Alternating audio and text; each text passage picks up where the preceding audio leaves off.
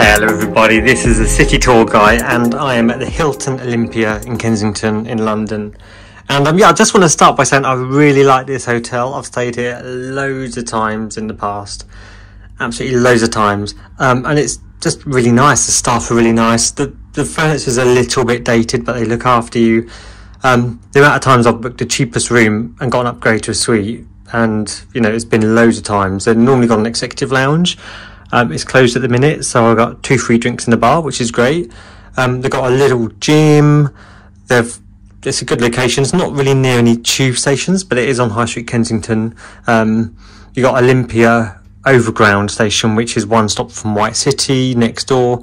Um, so yeah, it's a really good location still. I, I really like it. Um, the bar's really nice. Um, and, and, you can normally get a really good price for, for London as well. So I think I paid about 80 quid for tonight um, and, and, got a suite. So happy days. Um, let's have a look at the room um, or the suite. Let's have a look. So just coming in straight away to the left, we've got the bathroom. So let's have a quick look in here. Okay, Got the toiletries, uh, shower over the bath, which is a little bit of a shame because we don't really like that, do we, in the modern world? Iron, iron board, safe. Hair dryer. Lovely living area. Really nice, huge television. Got some complimentary water. Guess this is a fridge. Hilton, so for gold and diamonds, breakfast is included, which is nice.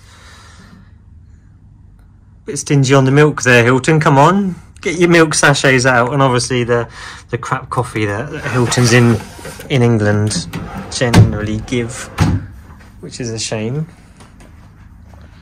Um, I think it's air conditioned. Um, it's got a machine up there that does something, so I think it is air conditioned. I haven't really stayed here in the peak of the summer for quite a few years now, so I can't remember what it's like. There we go. So we're just at the end of High Street Kensington there. So we've got Olympia just next door. Um, and then you just walk down there, you've got High Street Kensington, um, gets you to Hyde Park, Kensington Gardens, Holland Park. Um, yeah, you're really close to, to White City, Westfield shopping, so designer shopping centre. Um, you can get into central London in 15 minutes as well um, in an Uber really quickly. So yeah, like I said, it's, it's a really good hotel. I like it. Um, let's have a look in the bedroom area. Loads of windows. Nice big size bed there. Another television. Little wardrobe. That's where the iron is, because the ironing board was in the other room. Do need to iron his shirt for tomorrow.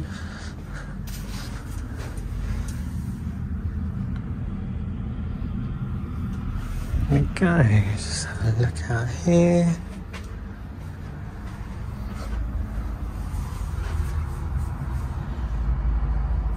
So these apartments, they've been here quite a few years now, but I remember they've been built maybe three, three, four years ago.